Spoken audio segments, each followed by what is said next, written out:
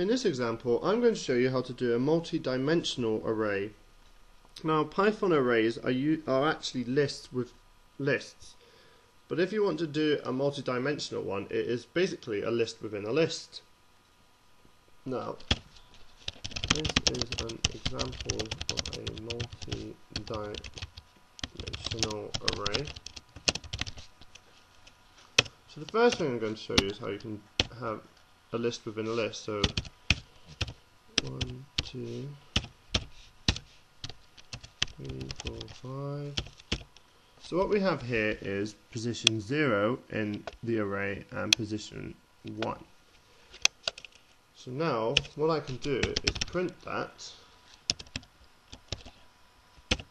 and print position 1. So I'll just show you that running.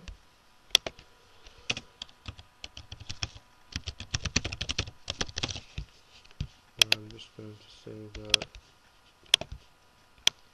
in my Python app folder.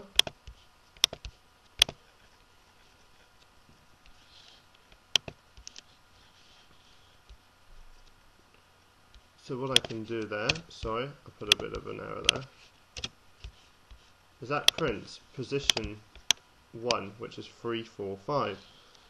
Now the other thing I can do is I can actually set up so names arrays so array and step so that's my first one. And then I've got names 2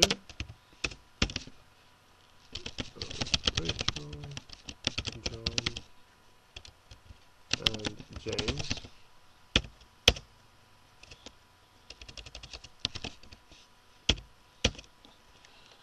And what I can do is I can create an array of both of these. So final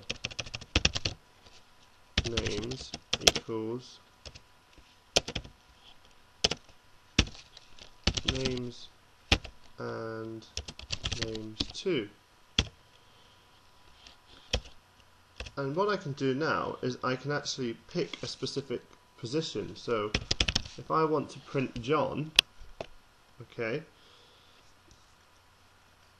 I happen to know that the second one is position 1 so I can now go to print final names. Let me just open the brackets on that. And I know it's position 1 which is names 2 and I know the name is also in position 1 so what I do now is if I run that it shows me John if I changed it to 2 it should show me James